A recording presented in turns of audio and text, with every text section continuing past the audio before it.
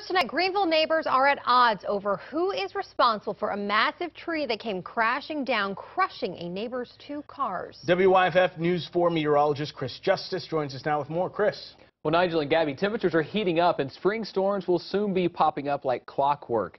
This is a story we could all learn a lesson from concerning who's at fault when storms bring trees crashing to the ground.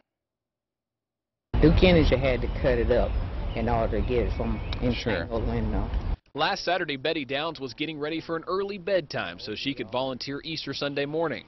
Moments later, she ended up being the one needing help as this huge tree came crashing down. I heard it and I was told my mom, I said, Mom, a tree is falling. I just knew it was headed for the house. The tip of the tree landed just feet from her home. Power lines came down with it, and Downs' home went dark. Check out just how big this tree is. When it was standing, it was about 100 feet tall. Now, let me show you the trunk. It's about two feet wide right here. Now, when it came crashing down, a large part of it landed right on top of this car, crashing in the glass. The other half landed back here in this yard. Now, who is responsible? The neighbor who had the tree or the neighbor where the tree landed? Well, insurance agents tell us it's a gray area. It comes down to whether or not it was an act of God.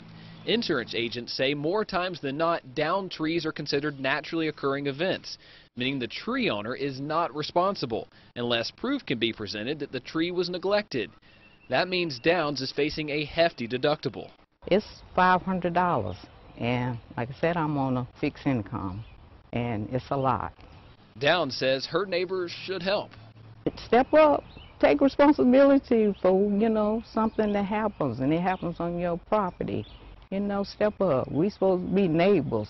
Looking out for one another. You know, do what's right. We reached out to the neighbor with multiple phone calls today and haven't heard back.